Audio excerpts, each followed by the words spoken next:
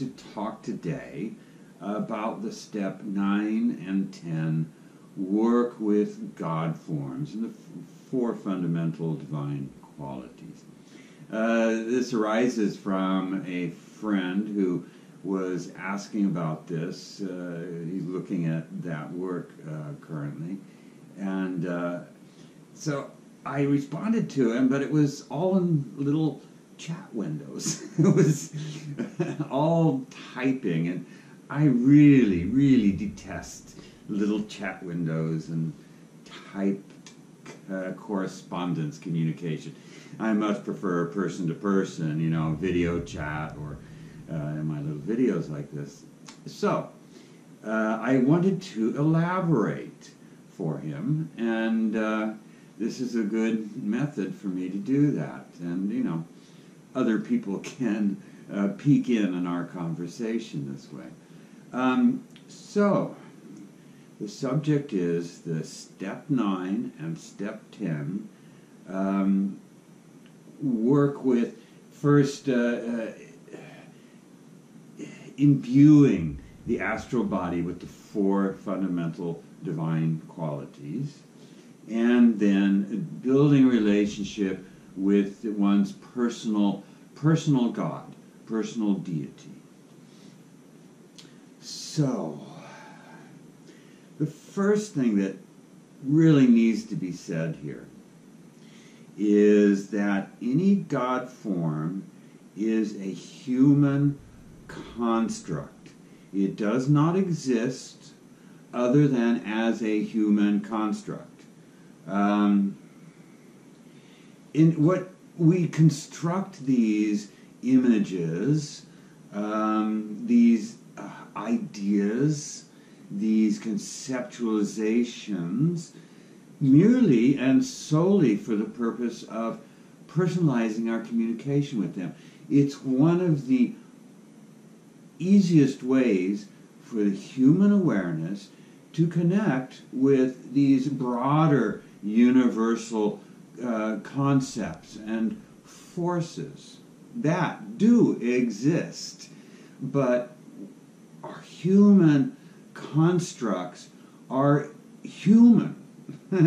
we make them ourselves. Um, they do not exist outside of what we make them. And that's that's sort of a double-edged sword uh, because uh, uh, humans do really awful things in the name of their God, um, which is just a human construct. Um, but the other side of that uh, double-edged sword is that it's a very good way for us to connect with the divine. You know, with these broader, infinite um, forces that exist, that are our universe. Um, so, I suggest that it is approached with this in mind that you are constructing whatever God you want to communicate with. Um, it doesn't have to be a God. Um, you can work with just the raw concepts themselves, as in the four fundamental divine qualities. Still, this is a human construct. Even if it's just four you know, fundamental divine qualities, that's still a human construct. So we're trying to grasp at these universal things with our limited human awareness. Okay? To do this work, you must have established what I described earlier as a quadrupolar awareness. This is the tripolar awareness, which we've exercised before, which is the physio astra mental awareness, where your physical body filled with an astral body and the mental awareness is moving everything and sensing everything through the astral and physical body, etc. So you're a mental body, an astral body, and a physical body all working together consciously, each consciously and intentionally in unison. Okay, that is, I think, starts in step six. Um, the quadrupolar awareness includes the eternal mental body, which in previous steps, uh, uh, step seven, I believe it is, um, or step eight, in there, uh, the communication with the personal guardian genius, uh, which I described as the greater self. This is one's own um, eternal mental body that exists in Binah. Okay? Um, I say one's own. Um, you don't own it. you are a part of it. You and you know perhaps an infinite other, infinite number of other individual selves are aspects of a specific greater self. Um, you must, for this work, be able to integrate all four of those bodies.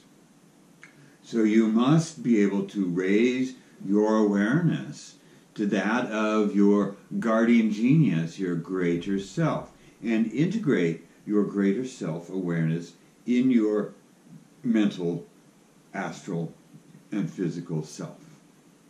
It is the greater self awareness that is, that is capable of interacting with these broad universal forces that we are personifying uh, in these exercises. Um, it really is only the greater self awareness that is capable of this, that is capable of bringing them down into and integrating them into the mental, astral, and physical bodies. Okay? So, you have to have this ability before you really um, can work with the personal deity uh, in the step 10 work. So this is refined in the step 9 work. The step 8 and step 9 work, um, especially the step 9 work, working with the four fundamental qualities. It's in this process that you that you are naturally making this uh, intimate connection with your greater self. Because all of this these four divine fundamental qualities um, are aspects of the greater self. That level of awareness the eternal infinite level of one's own awareness. So, the quadrupolar self is the self that creates the personal deity and interacts with the personal deity and eventually becomes the personal deity. It requires that integration of four aspects of self. Okay? Number one in this work is this is like the final ego check in initiation and hermetics. Uh, this has to refine the ego. There must not be an egotism in your approach. This isn't about making you the most powerful being in the universe. You're not going to become a god and be able to change everything at your whim. Uh, this is not about your whims. Um, so, you've got to deal with that. You've got to burn that up in the fire. It has to be the last trace of egotism in you that you offer up. You know, this is your sacrifice to uh, complete this work. Okay and it's no sacrifice. Um, so, that's the number one uh, aim of this work. The second is to bring forth uh, the quality of reverence in your heart, in your being. Reverence is essential when confronting the vast universal forces and powers, there must be a reverence, not a supplication, but a reverence, a love, and a deep affection um, for the universe. This is why, in Initiation to Hermetics, this is an astral work. In both step 8 and step 9, there is some mental work too, but it is primarily an astral exercise um, in step 9, excuse me, step 9 and 10. In step 9, you're bringing the four fundamental qualities into your astral body. In other words, you have to experience this with passion, and that's where reverence comes in. Reverence is passionate, it's not uh, weak, it's not mild. True reverence is passionate. yes, when, when you sing their song to the divine, you're really singing it. Okay? It has to be passionate, it has to involve your whole astral being. It has to transform you completely at the astral level, the level of the ego. Okay? Your personality has to transform in order to make this connection with the divine. Okay? Uh, and then in step 10, you're actually developing a relationship with your personal deity, your personal God. You want to make this an totally intimate, passionate, personal relationship. That's why it's an astral exercise, because there has to be a personal commitment. and it just has to be so sincere. Okay? No no faking it. No theater. No acting. It has to be sincere from the very root of your being.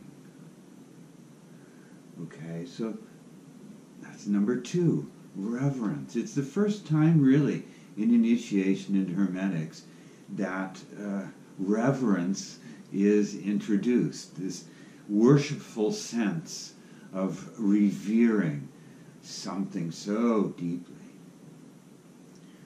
Um, okay.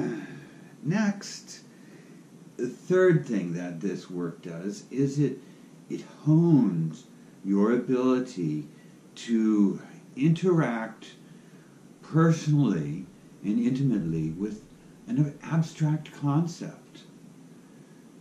Because no matter how concrete you uh, make this God that you are constructing for yourself, it's still behind it these abstract concepts, these uh, concepts that are so far beyond logic um, that they're totally foreign to the human awareness. and so we ha- it's this work will stretch and refine and hone um, your abilities to work with the truly abstract and to be able to do that comfortably you know, um, to just, well, okay, there's an abstract concept, I could deal with that and that one. You know, you just have to be nimble with your awareness in that sense. and the fourth thing that this work does in relation to initiation into Hermetics, well, relation to the work of practice and magical evocation, and the key to the true Kabbalah and the other higher magics um, is the magical authority that Bardon speaks of in KTQ. Uh, no, excuse me, in PME. The magical authority. And this is acting as your God form. This personal God form that you work with, the goal is to so fully identify with it that you can then act as that personal God form. Okay? Well, I think that's about all that I can really say about that aspect of initiation into Hermetics. Good luck. It will be very challenging and very exciting, very fulfilling. It's uh, really the final work of initiation into Hermetics, the ultimate goal of initiation into Hermetics. The rest is all child's play in, in comparison. Okay. All right. That's it for this time. Bye bye.